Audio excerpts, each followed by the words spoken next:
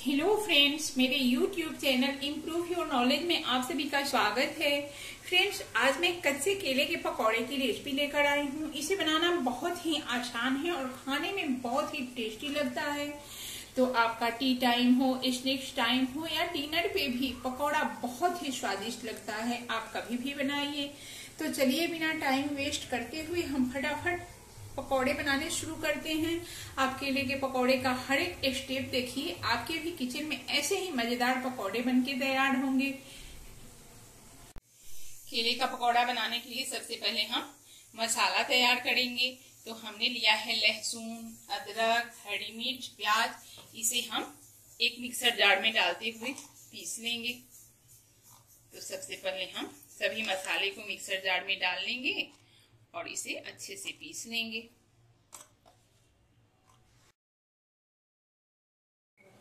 तो आप देख सकते हैं, हमने लहसुन, प्याज, अदरक का पेस्ट बना लिया है। अब हम यहाँ पे एक बोल लेंगे और इसमें पेस्ट को ट्रांसफ़र कर लेंगे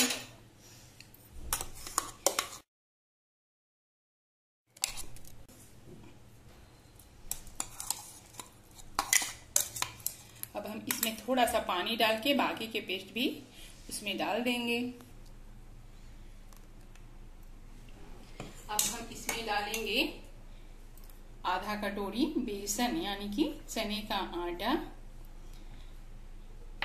साथ में हम डालेंगे वन फोर्थ कटोरी कॉर्नफ्लोर। यहाँ पे आप चाहें तो चावल का आटा भी ले सकते हैं। ये पकौड़े को काफ़ी क्रिस्पी बनाता है। साथ में हम इसमें कुछ सूखे स्पाइसेस ऐड करेंगे। तो यहाँ पे हम एक चम्मच धनिया पाउडर डालेंगे, यानी कि कोरिएंडर पाउडर हमने हरी मिर्च डाल रखा है तो इसके लिए हम एक चम्मच लाल मिर्च पाउडर डालेंगे।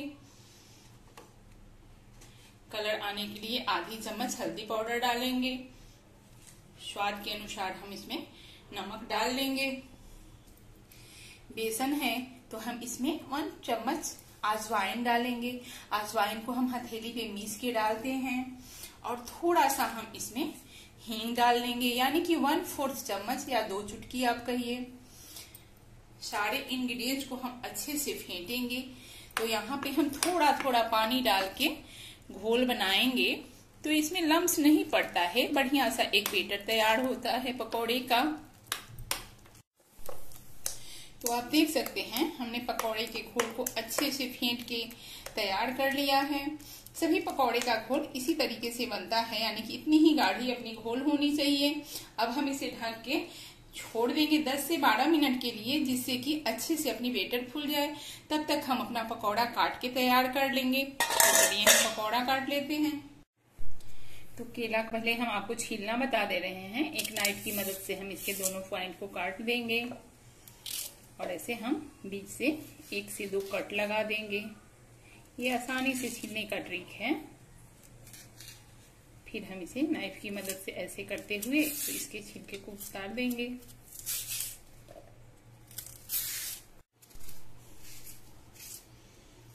केला एकदम ताजी होनी चाहिए, पकी होनी चाहिए तो उसका पकौड़ा बहुत बढ़िया तैयार होता है। तो आप देख सकते हैं, हमने केले के छिलके को चाकू से अच्छे से हटा लिया है। अब हम छिलका को साइड कर लेंगे और केला को काटना भी खा दे रहे हैं। तो आप कभी भी पकौड़ा बनाइए तो दो तरीके से बना सकते हैं। या तो इसका स्लाइस कर लीजिए ऐसे पतले पतले और एक दूसरा तरीका भी है, इसमें हम ऐसे फिंगर के जैसे कट लगाएँगे। ये भी बच्चों को बहुत पसंद है और बनाना भी आसान है। तो हम ऐसे भी काट के पकौड़े बना सकते हैं। तो चलिए हम दोनों तरीके से पकौड़े काट ले रहे हैं। हमने केले को काट लिया है। तो ध्यान रहे, केला आप तभी काटिए जब पकौड़े तलने हो, नहीं तो काले पड़ने लगते हैं। चलिए हम बेटर ले लेते हैं। तो आप देख सकते हैं, अपनी बेटर भी फूल चुकी है। इसमें बिल्कुल लम्स नहीं है और एकदम पकौड़े के लिए तैयार है। तो इसमें हम डालेंगे पकौड़ा। सबसे पहले हम जैसे लंबा लंबा काटे हैं, फिंगर जैसा केला, उसे डाल लेते हैं और बेसन में ऐसे डीप कर लेते हैं। अब हम गैस की तरफ़ चलेंगे। हमने केला काटने से पहले गैस पे तेल गरम होने के लिए रख लिया है। तेल अच्छे से गर्म हुआ है कि नहीं, ये चेक करने के लिए हम बेसन में लिपटा हुआ एक पकौड़ा डालेंगे। तो आप देख सकते हैं, पकौड़ा डालते तुरंत तैरने लगा, यानी कि अपनी तेल अच्छी खासी पकौड़े के लिए तैयार है। तो इसमें हम सभी पकौड़े डालेंगे। एक बैच में जितना पकौड़ा आ सके आप डालिए। ध्यान रहे फ्लेम मीडियम रखना है हमें पकौड़े के लिए। चलिए हम पकौड़े को एक बार उलट लेते हैं। तो आप देख सकते हैं कितना बढ़िया अपना केला का फिंगर सेप में पकौड़ा तैयार हो रहा है। हमें उलट पलट के इसे सात आठ मिनट तक पका लेना है, जिससे अच्छे से अपना केला पक जाए और ऊपर से क्रिस्पी हो जाए।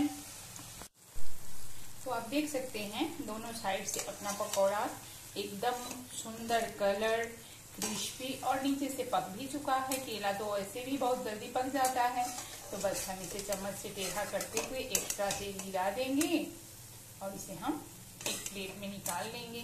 फ्रेंड्स एक बार और देख लीजिए कितना बढ़िया केला का फिंगर शेप में पकौड़ा तैयार हुआ है। अब चलिए हमने जो स्लाइस में काटा था, उसे भी फ्राई कर लेते हैं। तो हमने बेटर में ये पतले पतले अपने केले को डाल रखा है और सेम प्रोसेस से हम इसे डीप करेंगे। एक्स्ट्रा बेटर गिरा देंगे और धीरे से हम अपने तेल में पकौड़े को छोड़ देंगे। एक बार में जितना पकौड़ा आ सके, उतना हमें छोड़ना है। उसके मुकाबले ये जल्दी पक जाता है क्योंकि इसकी थिकनेस बहुत कम होती है, यानी कि पतली पतली होती है तो ये जल्दी पक जाता है। तो आपको जो भी तरीका पसंद आए, उसे डालिए, फिर हम मीडियम गैस पे इसे ब्राउन होने तक क्रिस्पी होने तक पका लेंगे। आप देख सकते हैं, हमने दोनों साइड से उलट पलट के पकौड़ा को एकदम क्रिस्पी कर लिया है, और ये तो पक ही गया है, पकने का कोई तो ये नहीं है। तो चलिए हम इसे भी ऐसे टेढ़ा करते हुए और प्लेट में निकाल लेते हैं। इसे टेढ़ा करके आप आधा मिनट तक रखेंगे। एक्स्ट्रा तेल कढ़ाई में वापस चला जाएगा और इसे हम इसी प्लेट में निकाल लेंगे। तो फ्रेंड्स आप देख सकते हैं, दोनों तरीके से पकौड़े बनकर तैयार है। देखने में सुंदर हुआ है, खाने में तो टेस्टी लगता ही है। तो चलिए हम बाकी के सभी पकौड़े ऐसे ही बना लेते हैं। तो फ्रेंड्स आपने देख लिया केले का पकौड़ा बनाना कितना आसान है और खाने में तो बहुत ही टेस्टी लगता है। तो इस क्रिस्पी पकौड़े को आप भी ज़रूर ट्राई कीजिए और प्लीज़ हर बार की तरह मेरे चैनल को लाइक सब्सक्राइब और शेयर ज़रूर कीजिए। कमेंट बॉक्स में अपना कमेंट ज़रूर लिखिए। आपको कैसी लग रही है मेरी रेसिपी धन्यवाद।